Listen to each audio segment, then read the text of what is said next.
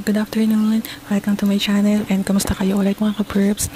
Today, I'm going to make a product review about um, Sugar Dolls PH. Kung familiar kayo sa Sugar Dolls PH, um, bali, titinda sila ng mga lipstick and other cosmetics like blush, ganon. So, o sana sa inyo kung paano pinackage ni Miss Dial Dial, yung pinadala niya sa akin ng mga lipstick.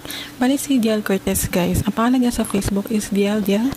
And meron siyang Shopee, Shopee store which is named Cortez. Siya yung reseller ng Sugar Doll sa Marilao, Bulacan and Quezon City. Bali dalawa yung location niya and reseller siya. Authorized reseller siya talaga ng Sugar Dolls PH. Ayun. Ang ganda sana ng pagkabalot niya. Nag-unboxing ako talaga doon. Pinakita ko kung paano niya pinakasin. Ang ganda ng pagkapack niya doon sa lipstick. Aside from naka-bubble wrap siya, is binalot niya na binalot ng masking tape. So, dumating sa akin yung products ng maayos. So, right now, ipapakita ko sa inyo yung product na bili ko na kay Miss Dial Cortez. Is the Creamy Velvet Lip Dip. And meron siyang freebie na binigay sa akin which is powder lip ink and powder lip ink siya. Ayan, binigay siya sa akin. Ang binili ko lang talaga is the red creamy velvet lip tip. And siguro, dahil naka-curious ako doon sa powder, lip ink, is binigyan niya ako ng freebie. So, ito. Thank you, Miss Tel Cortez, for giving me the powder lip ink sexy fudge. So, first, let's, let's try the product. Yung powder lip ink na sexy fudge.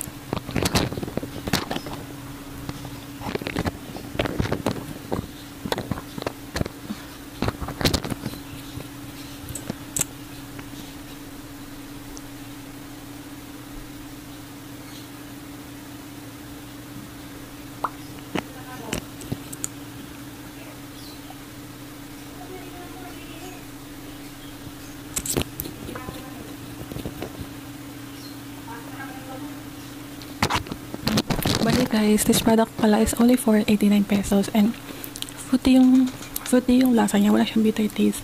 And kapag nilagay mo siya, ayun, can easily like and madali rin siya matuyo. So dapat pag nilagay mo siya, inakalat mo na siya agad sa lips mo and then magtatap ka ng another dito para dun sa mga upper part na hindi na na abot ng lipstick. And ang price nito is only 89 pesos per SRP. Meron siyang fruity taste. Lasa, juicy, lasa siyang juicy fruit. Ganun yung nalasahan ko pag nalagay ko siya sa lips ko. Kasi syempre, di ba, pag nalalagay tayo, merong part na madadampian ng ang sa lab, ang tawag dun. may part na madadampian ng dila mo, di ba? Pag medyo kalagay mo pa lang, syempre may liquid na magpupunta sa dila mo. So, malalasahan mo siya na lasang juicy fruit. Yun. So, konting info lang. This powder lip ink is for only 89 pesos per SRP. Tsaka pala guys, onting information na sabi sa akin ng seller, magbibili kayo ng mga lipstick sa kanila, ang, ang naglala siya for 18 months. 18 months is equals to 1 hour and 1 year and 6 months. So, ganun naglalast yung mga product nila. Once na binuksan mo na siya. Pero pag hindi mo naman siya nabuksan, maglalast siya for 2 years. Itong powder lip ink, ang ingredients niya is vitamin E. Vitamin E, para ma-boost niya yung circulation and mag-help na ma-generate ng new, sk- new skin cells, making our lips softer. Meron siyang sunflower oil, it helps to prevent dry and chapped lips. Meron siyang aloe vera, it helps to rejuvenate dry and chapped lips. Meron siyang rose hip, it helps to hydrate dry lips. And meron din siyang vegetarian glycerin, it serves as lip moisturizer. Bali, cruelty-free siya, FDA approved, and 100% organic. So yan guys, ang sugar powder, lip ink ay meron siyang creamy liquid texture, powdery matte finish, easy to apply, buildable, can be used alone and blend over other lip tints, lightweight, fast drying, highly pigmented, does not leave cracked lips, all natural and made with certified organic ingredients, safe for pregnant, lactating mothers and kids for only 89 pesos per SRP. Available siya in 8 shades. Coco Loco, Foxy Frost, Lazy Jam, Midnight Truffle, Luscious Lips, Luscious Lush, Rebel Toast, Sweet Pea Pumpkin, Sexy Fudge, Wicked White, and Tipsy Cookie. So yun guys, sa mga gusto sa inyo mag-try, it's only 89 pesos per SLP. I'm going to share the FB page and Shopee seller page ni Dial Cortez to sa mga QC area and Bulacan area. Pag sa ibang area naman kayo, meron pa namang ibang mga authorized to seller, depende dun sa area na malapit sa inyo kung mag-offer sila ng for meet up or for delivery. So now let's try naman the creamy velvet lip dip. Ito talaga yung pinakabinili ko sa shop. Ayan, creamy velvet lip dip. So let's try them. I'm back guys. So, we're going to test naman yung Kimi Velvet Lip Lip. So, bali guys, tatlong, tatlong, ang tatlong shade yung binili ko sa kanya as of now. Pero, alam ko sa total of 8 shades sila. So, yung binili ko sa kanya is Sasha Tara and Chloe. So, nasi-ship sila via JNT and LBC, yun, and etc. So, negotiable and adjustable siya guys. You can talk to her kung gusto mong magpa-deliver ko saan man kayong site ng Philippines, ganyan ng even international. Pero once naman na may kilala kayong reseller na malapit sa area, yung authorized reseller, pwede naman kayong bumili sa kanila. And once na authorized naman sila, sinusunod naman nila yung SRP ng mga products. Okay, so, mm, now we're going to try Tara. So, isa-swatch ko muna siya.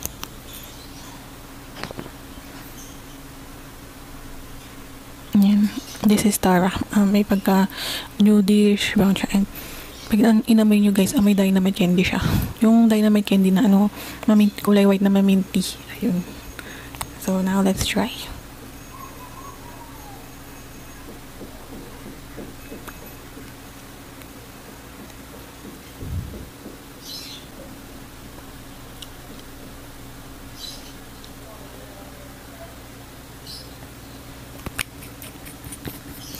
Ayan. So guys, this is Tara. And, ayan. Madali siyang mag-dry. And yun nga pala guys, yung creamy velvet tip tip nila is wala siyang oil. Wala siyang oil. Hindi siya oil. Ibig sabihin, parang hindi siya oil-based. Bali, yung creamy velvet tip tip siya. Siyempre, dun parang sa name na creamy. It has a creamy texture and um, tawag dito. It has a creamy texture and easily drying, easily blendable hindi siya oil-based. So, hindi siya ganun ka, I mean, lightweight siya. And hindi siya ganong, dito hindi siya ganong mabigat. It's blendable, it's lightweight, and ayun, yung color niya, madali kumalit. Madali siyang mag-dry and long-lasting. So, same sa price ng pow- powder lipping it, it's also for 89 pesos.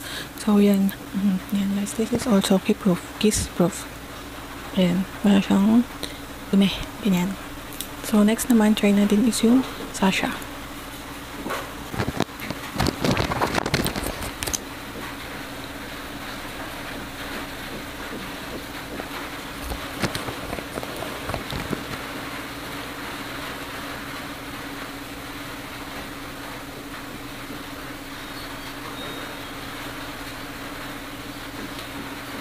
And, and then also swatch it.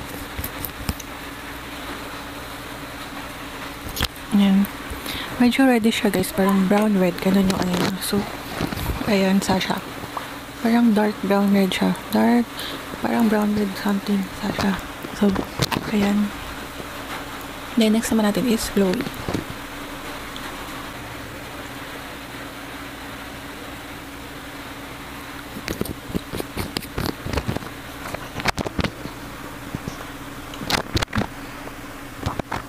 Alam ko lang talaga mag-lipstick na marunong.